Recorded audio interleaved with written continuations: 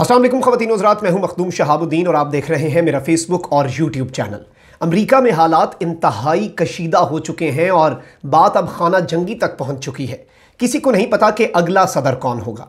लेकिन हैरान कन बात यह है और पूरी दुनिया की हैरत की इंतहा उस वक्त न रही जब रात गए डोनाल्ड ट्रंप ने एक प्रेस कॉन्फ्रेंस की। ये प्रेस कॉन्फ्रेंस अमरीकी चैनल्स नशर कर रहे थे। लेकिन जैसे ही ट्रंप ने कुछ बातें शुरू की तो अमरीकी चैनल्स ने डोनाल्ड ट्रंप की प्रेस कॉन्फ्रेंस दिखाना बंद कर दिया।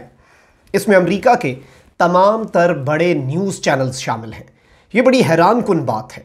अमरीका जिसे जमहूरियत समझा जाता है, अमरीका जिसमें अमेरिका का एक सदर मौजूद है, हाजिर सदर, present president of the United States, उसकी तकरीर अमरीकी चैनल्स नशर नहीं करते। ये अमर जो है, ये काफ़ी बातें वाजे करता है। ये अमरीका के अंदर इस्टेब्लिशमेंट का किरदार भी वाजे करता है। ये अमरीका के अंदर इस बात को भी वाजे करता है कि स्टेट अबव स्टेट है और हिलरी क्लिंटन जो कि अगले दिन पाकिस्तान की मिसालें दे रही थी, आज अमरीका भी वाजे हो चुका है। आज की इस वीडियो में ये तमाम तर तफसीत आपके सामने रखेंगे। डोनाल्ड ट्रंप ने आखिर इस प्रेस कॉन्फ्रेंस में कहा क्या? ये भी आपके सामने रखेंगे और ये भी बताएँगे कि किसके कहने पर अमेरिका में तमाम तर मीडिया चैनल्स ने, जो कि फ्रीडम ऑफ़ एक्सप्रेशन और आज़ादी इजहार का बरदार बनता है मुल्क, उसमें उसी मुल्क के सदर की प्रेस कॉन्फ्रेंस सेंसर कर दी जाती है। ये किसके कहने पर हुआ और क्यों हुआ? और क्या अमेरिका की जो सीक्रेट सर्विस है, उसके पास क्या इतलात हैं? रशिया और चाइना के जो इंटेलिजेंस इंटेलिजेंस एजेंसीज़ हैं, उन्होंने क्या प्रडिक्शंस की हैं? ये सारी बातें आज की इस वीडियो में आपके सामने रखेंगे। लेकिन उससे पहले अगर अभी तक आपने चैनल को सब्सक्राइब नहीं किया तो सब्सक्राइब कर लें और घंटी के निशान को दबा दें ताकि इसी तरह से आपका जो सपोर्ट है मुझे मिलता रहे और अभी हम यूट्यूब पर सबसे फास्टेस्ट ग्रोइंग पाकिस्तानी चैनल बन चुके हैं। ये अल्लाह ताला के करम के बाद आपके सपोर्ट की वजह से मुमकिन हुआ है। और इसी तरह इन जो क्रेडिबल और मुसदा हक़ पर मबनी ख़बरें हैं, वो आप तक ईमानदारी के साथ मैं पहुंचाता रहूँगा। खातिन हजरात, अमरीका में इलेक्शन में वो हो चुका है जो अमरीकी तारीख़ में आज तक नहीं हुआ। अब एक जानब, जो बाइडन जो हैं उन्हें वाज बरतरी हासिल है। लेकिन दूसरी तरफ़ डोनाल्ड ट्रंप कह रहे हैं कि मैं तो वोटों की गिनती वही मानूँगा जो इलेक्शन के दिन है और उसके बाद जितने वोट हैं वो इलीगल हैं। अब डोनाल्ड ट्रंप इस वक्त चीफ एग्जेक्टिव हैं अमेरिका के सदर हैं और उनके पास तमाम तर इख्तियार हैं। वो एग्जेक्टिव ऑर्डर जारी कर सकते हैं और वो सुप्रीम कोर्ट तक जाने का भी ऐलान कर चुके हैं। अब अगर डोनाल्ड ट्रंप और जो बाइडन के दरमियान अब जब वाजे बरतरी का जो बाइडन का ऐलान होगा और डोनाल्ड ट्रंप ने तो कह दिया है कि मैं ही सदर हूँ और मैं जीत चुका हूँ और जो वोट मेरी इस डेट के बाद गिने गए हैं वो इलीगल हैं, जबकि वो वोट्स जो हैं वो लीगल हैं और उनके ऊपर एक स्टेट में सुप्रीम कोर्ट का फैसला भी आ चुका है। अब डोनाल्ड ट्रंप की ज़िद जो है अमरीका को तबाही के दहाने पर लेके जा सकती है। डोनाल्ड ट्रंप की जो ज़िद है और वाइट हाउस ना छोड़ने की बात है, इससे अमरीका में खाना जंगी हो सकती है और अमरीका की सीक्रेट सर्विस इस वक्त वाशिंगटन डीसी की सड़कों पर मौजूद है।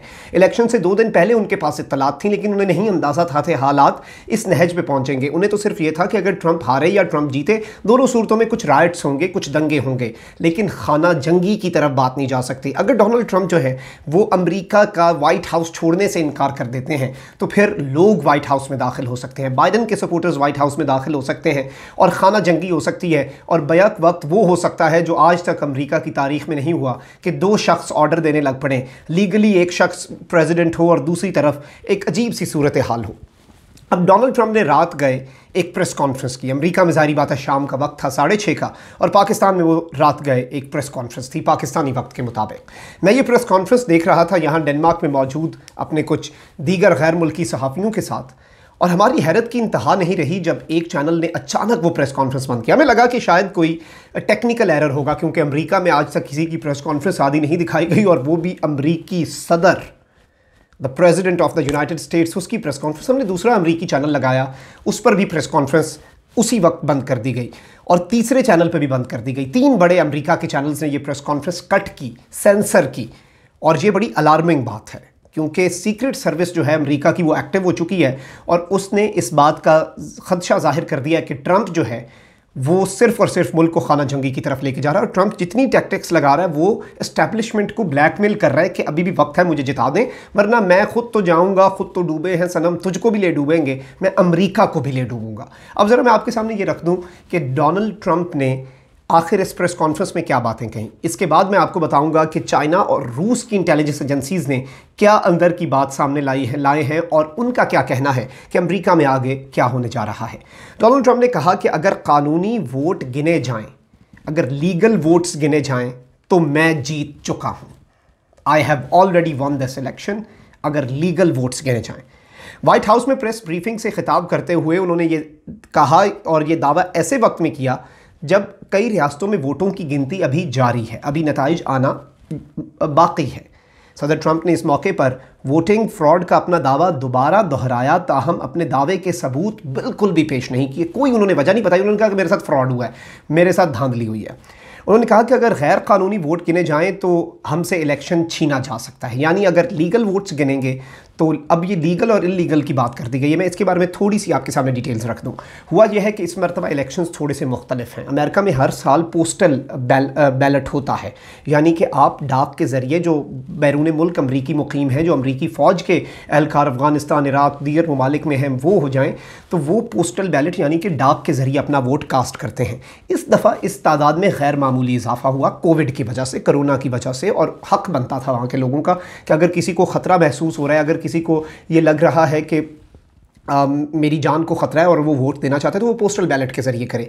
अब पोस्टल बैलेट जो है जारी बात है नई चीज़ थी तो उसकी गिनती में वक्त लग रहा है। बहुत से स्टेट्स में गिनती जारी है इसलिए अभी तक रिज़ल्ट सामने नहीं आ सके। लेकिन डोनाल्ड ट्रंप ने कहा है कि इलेक्शन डे के बाद जो गिनती हुई वो इलीगल है।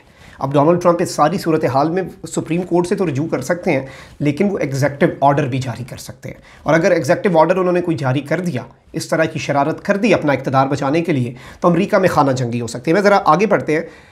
उन्होंने कहा है डोनाल्ड ट्रंप साहब ने कि पोस्टल बैलेट जो है, एक करप्ट निज़ाम है और ये किसी ऐसे शख्स को भी करप्ट कर देता है जो फितरतन करप्ट ना हो।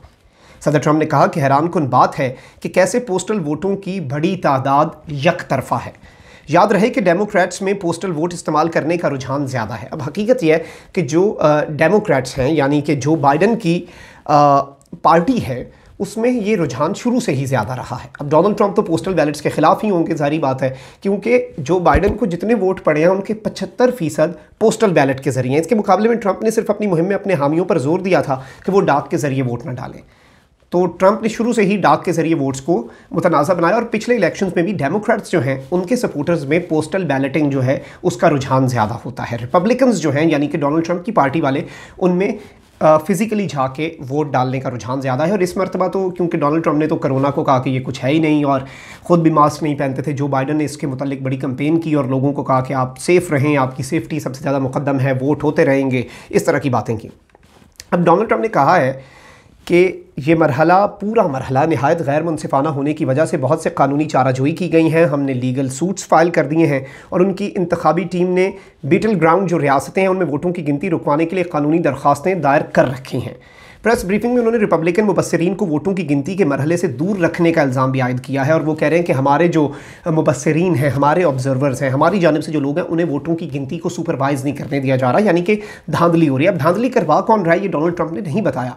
अब इसके अंदर डोनाल्ड ट्रंप जो है, अमेरिका के अंदर जो इस्टेब्लिशमेंट है, जब मोस्ट पावरफुल मिलिट्री इस्टेब्लिशमेंट अमरीका की जारी बात है अमरीका के अंदर की पॉलिसी सदर बनाता है। यही बात इससे पहले भी हमने आपको बताई कि अफ़गानिस्तान की और पाकिस्तान के ऊपर कोई ज़्यादा फ़र्क नहीं पड़ेगा क्योंकि असल पॉलिसी पेंटागॉन में बनती है। ये सिर्फ़ पाकिस्तान के ऊपर ही और पाकिस्तान के कुछ नाम नहाद लिबरल्स चीखते हैं कि आपका जी एच क्यू क्यों मुदाखलत कर रहा है, पूरी दुनिया में ऐसे होता है। और वहाँ पर भी अब ऐसा ही हो चुका है और दुनिया की जिसे आप सबसे बड़ी जमहूरियत और इंसानी हकूक़ के अलम बरदार कहते थे, उनके तो मौजूदा सदर की तकरीर काट दी गई और आप लोगों को और हमारे मुल्क में तो कुछ लोग शिकवा करते हैं कि एक सबक वज़ी अजम जो कि दुश्मन के एजेंडे पर अमल पैर हैं उनकी तकरीर क्यों नहीं दिखाते? खैर वो एक अलग बहस है हम उसमें नहीं पढ़ेंगे क्योंकि अगर मैं उस पर शुरू हो गया तो आ, मेरी जो भड़ास है वो सामने निकलना शुरू हो जाएगी और काम थोड़ा ज़्यादा ख़राब हो जाएगा। तो हम टॉपिक पर रहते हैं।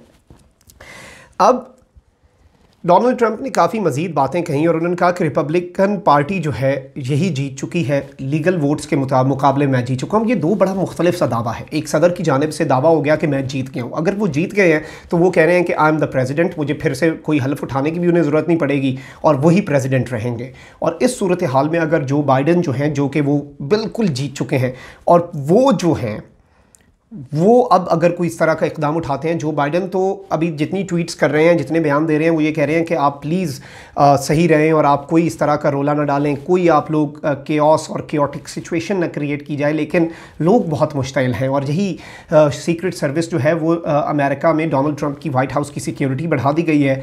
जॉर्ज फ्लॉइड जो कि एक सयाफाम मरा था, उसके बाद एक कंपाउंड में अमरीकी सदर को शिफ्ट कर दिया और वो कंपाउंड बड़ा सेफ़ कंपाउंड होता है। उस कंपाउंड के अंदर बुलेट प्रूफ और वो एटॉमिक बॉम्ब से भी उससे बचाया जा सकता है। जारी बात है, अमरीकी सदर को बचाने के लिए बहुत लंबी एक सिक्योरिटी की लिस्ट है। तो डोनाल्ड ट्रंप को उस कंपाउंड को भी इस वक्त एक्टिव कर दिया गया है। किसी भी वक्त वाइट हाउस पे उनकी अपनी इतलात के मुताबिक हमला भी हो सकता है। अब ये बड़ी गंभीर सिचुएशन है। इसमें चाइना और रूस की जो ज़राए हैं, उन्होंने भी ये दावा किया है कि अमरीका इस वक्त तकरीबन बिल्कुल मेक और ब्रेक मोमेंट पे है।